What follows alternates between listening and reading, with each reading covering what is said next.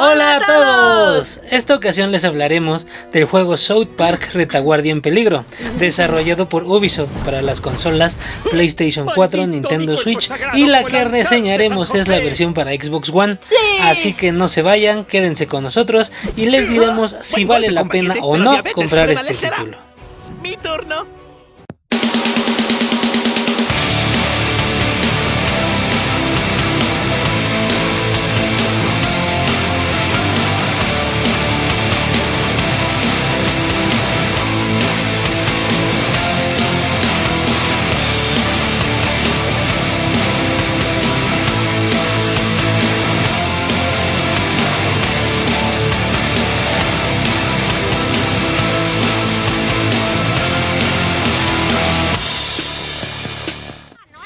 Este juego del 2017 es la continuación de South Park La Vara de la Verdad y comienza cuando los protagonistas se cansan de jugar con escudos y espadas, motivo por el cual deciden jugar a los superhéroes. Pero como era de esperarse, no todos están de acuerdo y pelearán por ver qué grupo de superhéroes es el mejor. Esto quizás arda. Ubisoft nos presenta un juego de rol con elementos de exploración y pelea por turnos, inmerso totalmente en el mundo de South Park en donde veremos cómo avanza la trama, la cual está llena de chistes y el sarcasmo al cual nos tienen acostumbrados en la serie. ¿Quién hecho oráculo? Otro punto a destacar es que en su totalidad el juego viene sin censura, algo que todos los fans agradecerán, al igual que todas las referencias a la serie, las cuales no se sienten forzadas y quedan bien en la historia. Desde el inicio se nos da la oportunidad de crear a nuestro personaje, desde la ropa hasta el color de piel, que entre más oscuro le elijas se incrementará la dificultad. Acto seguido, tendrás que ayudar a tu personaje a cagar, mostrándonos que uno de tus superpoderes serán los gases, haciéndonos reír desde el comienzo. Sus puzzles son sencillos, pero no por eso les quita la diversión. Las animaciones en general te harán sentir como si estuvieras viendo un capítulo de TV. Las posibilidades que tienes con cada uno de los personajes, haciendo que puedas tener varios equipos para pelear, todo dependerá de sus habilidades.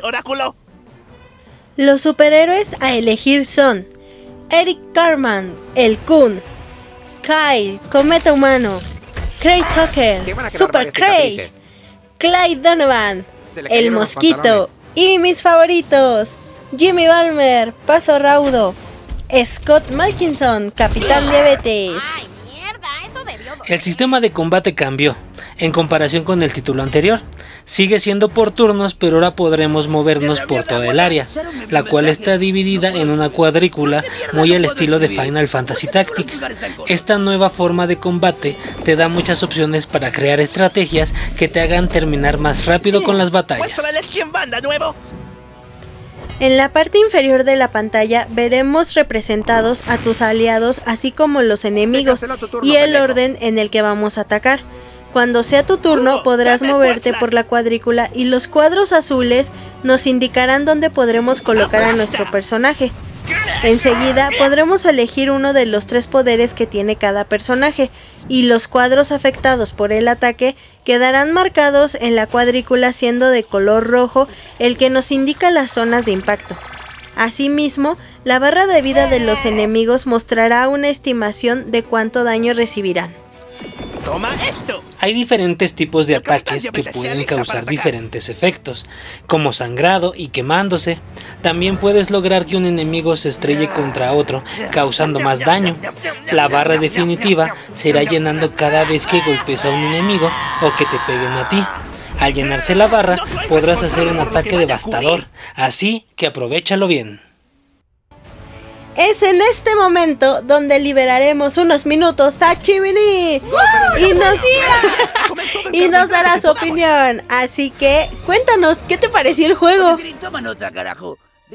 La verdad, yo ya tenía las expectativas muy elevadas gracias a los gameplays que uno se encuentra. Pero la realidad superó los niveles de lo que yo esperaba. Porque, así como ya lo mencionaron, se juega por turnos, pero es tan dinámico que ni siquiera se siente. Además de lo mucho que amé que tuviera el doblaje al español, eso te ayuda a vivir la experiencia completa y te hace no querer detenerte ni un momento. Es un juego increíble y aunque no sea la cosa más compleja o no tenga la historia más elaborada, definitivamente te divertirás. Muchas gracias por darnos tu opinión, pero como siempre es hora de regresar al calabozo. Turururu. ¿Eso qué? En conclusión, South Park Retaguardia en Peligro es un gran juego que los amantes de la serie disfrutarán, pero si no lo eres tanto no importa, lo disfrutarás de igual forma. Debo ser honesto y les diré que no soy tan fan de los juegos RPG por turnos.